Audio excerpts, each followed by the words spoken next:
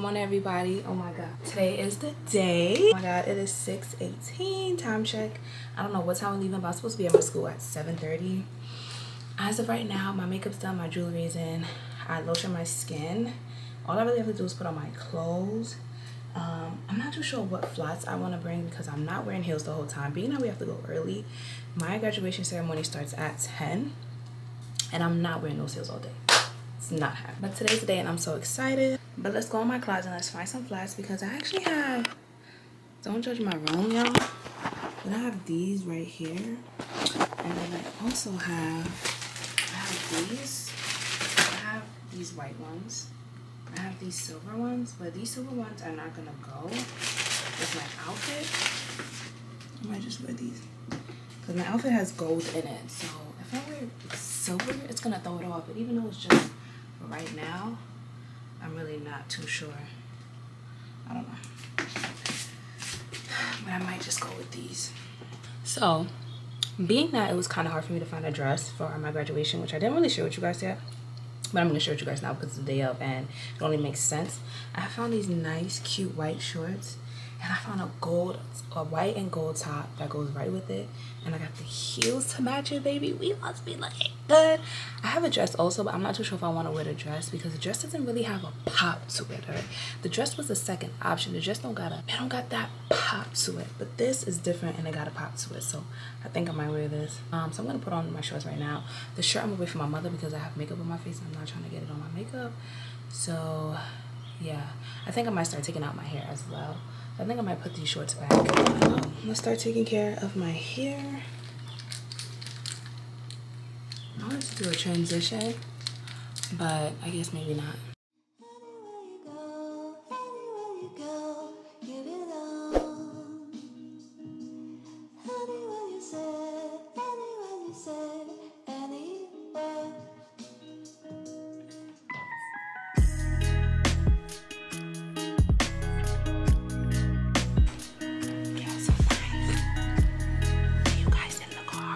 He has it. Let me remind him about the camera.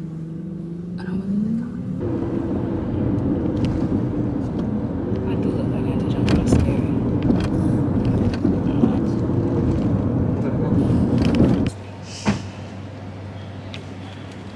Yeah?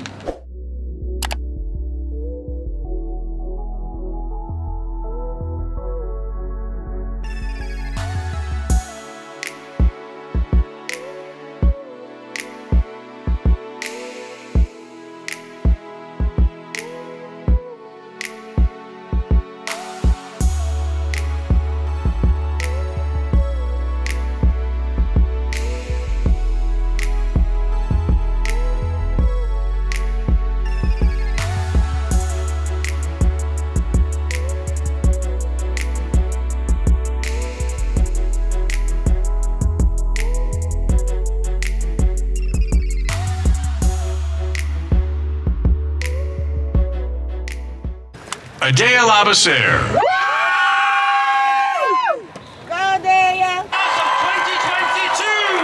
Congratulations.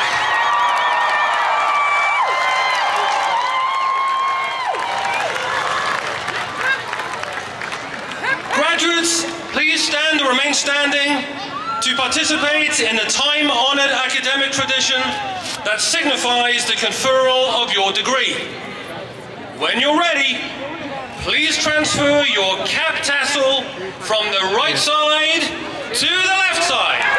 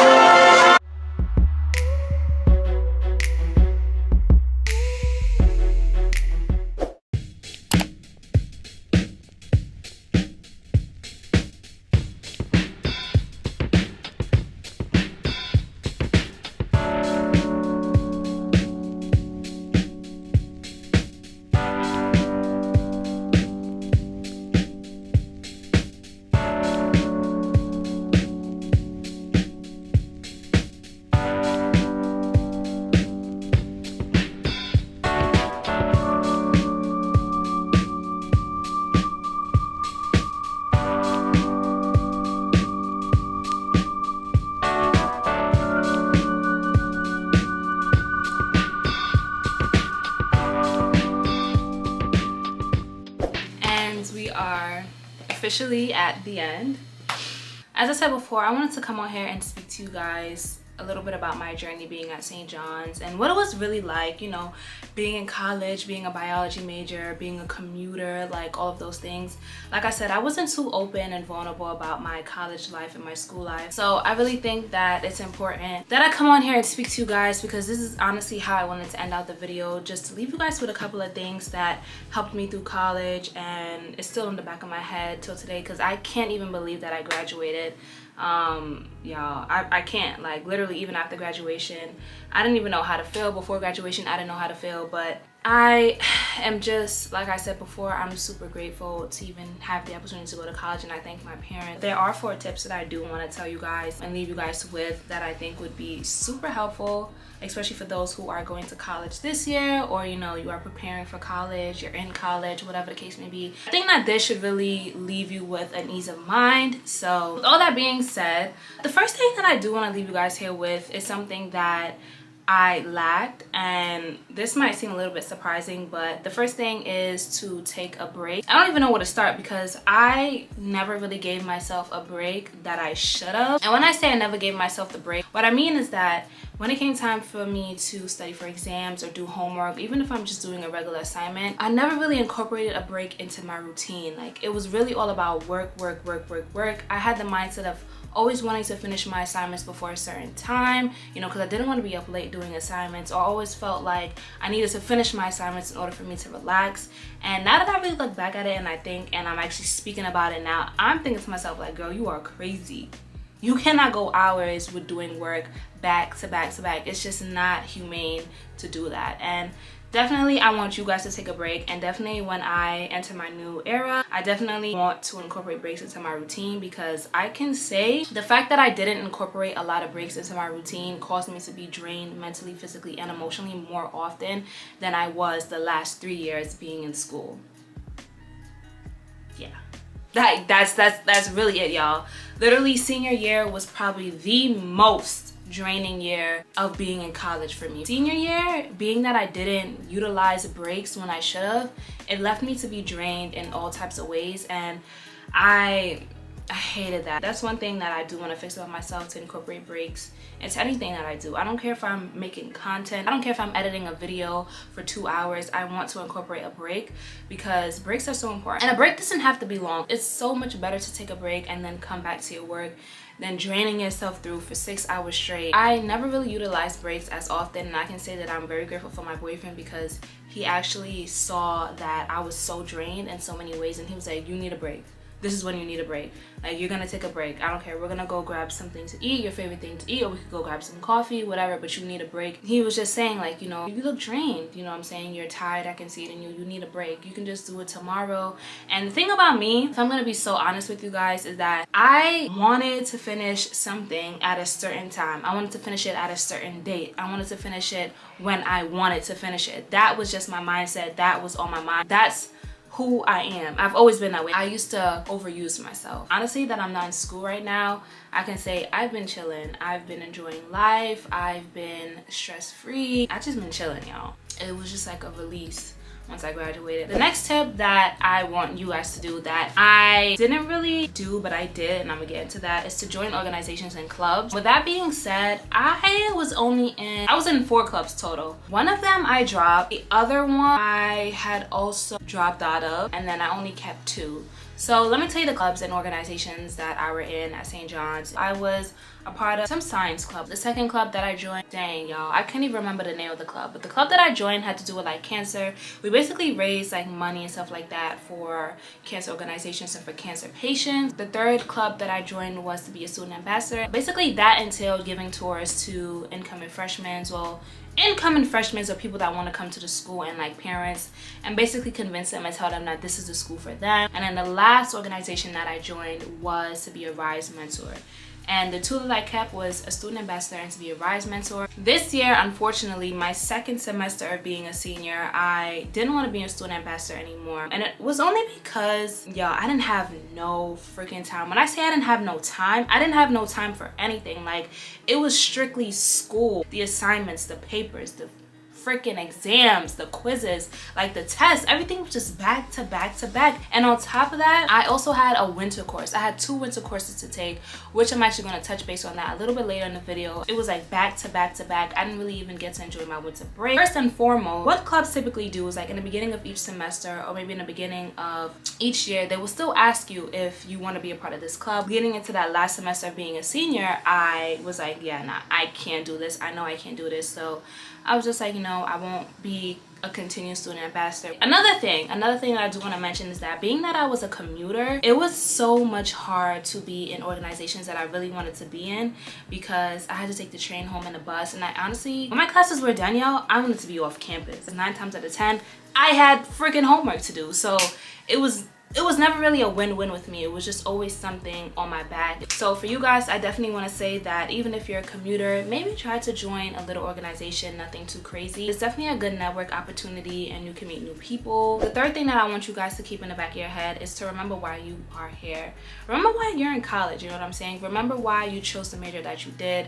Remember why you know you chose that college. I think for me and i never really spoke about this on my channel but st john's i didn't want to go to that school. It wasn't a school of my choice. It wasn't something that I dreamed of for years. For me, I don't even really think I had a dream school. I just didn't know if I wanted to go away or if I wanted to stay here. I didn't know if I wanted to be close to my parents or I wanted to get freedom. But I can't even say get freedom because I've always had freedom. I never had a dream school. St. John's wasn't the school that I wanted to go to, but I ended up there and I can't say that I full on full loved it, but I, can definitely say that I learned many life lessons from it and I can say that they've taught me a lot with four years being in college. Definitely remember why you are here. Like you're here in college because what? You want to get a degree, baby. I'm pretty sure you're not in college to party. Some people go to college just to party. So what I'm really trying to say here is remember why you're here. For me, even though my years were stressful at St. John's, especially academic wise, I knew why I was here. I knew that I wanted to get a degree. I knew that science was my subject, which is why I never switched my major. I knew that I wouldn't like anything else. I knew I wouldn't like math. I knew why I was there. And I knew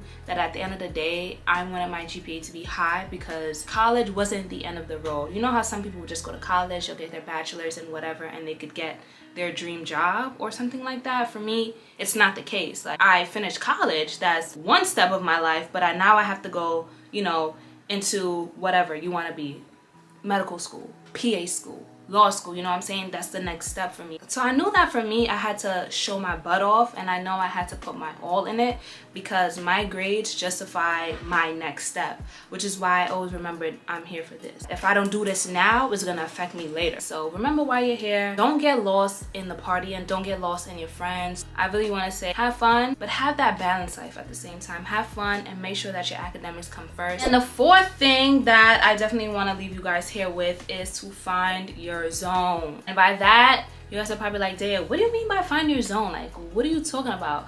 When I say find your zone, I mean find a place, a physical place, whether it's the library, your home, you know, if you're a commuter, if it's your home, or if it's your dorm room. Find a place that helps you focus. For me, I began to love the hell out of the library my senior year. I was in the library 24 7. It was my place. I knew my specific spots. Like, y'all, I had different spots, you know, just in case one of my spots were filled up and I would find my zone and I would do my work and I would get my stuff done. Find your zone. Find a place that works the best for you. I can really say, especially for COVID time, I like it was so hard for me to find my zone. I was stuck in my room. Like, oh my god, I'm saying I was stuck in my room as if I was in jail, but I was in my room majority of the time because my mom was also home and she was teaching. I had no choice but to do my academics in my room and that drove me freaking crazy, y'all. Like I was like losing it in here. I swear I was losing it in here. I couldn't I couldn't do it. I look at my room as a place to not do work. My room is only a place for me to sleep and get dressed. So to do academics in here, it really kind of changed my mentality and my aspect, which is also why I thought it was very hard for me to get back on my learning type of, I wouldn't say journey, but I had a learning aspect to me. I knew my learning strategy. When I stepped foot into college my freshman year, I knew my learning strategy. I knew what worked for me to pass my exam. I think that after COVID, all of that just it fell apart. Like I struggled my first semester of senior year. I struggled. Like when I say I struggled, it was a struggle for me for one of my courses. I struggled bad and I aced that class at the end of the day I aced my class I had to relearn myself I had to relearn what my zone was what worked the best for me to pass my exams and my finals what did I do freshman sophomore and junior year to pass my quizzes that I can incorporate now find your zone find a place that okay this is my this is my study table this is where I study this is where I do work honestly and that's what I'm gonna leave you guys here with. I wanted to talk to you guys about what happened to me during my winter break. I don't really like to speak on things, especially before it happens, or certain times I just don't feel the need to share my business with people. What basically happened to me in my winter break of college, I had courses to take over my winter break, and if I didn't take those courses, I wouldn't be able to graduate. I wouldn't be able to walk that ceremony. I had to take two courses over my winter break. And with that being said, that means, y'all, I had fall, winter, and spring. I had classes back to back to back.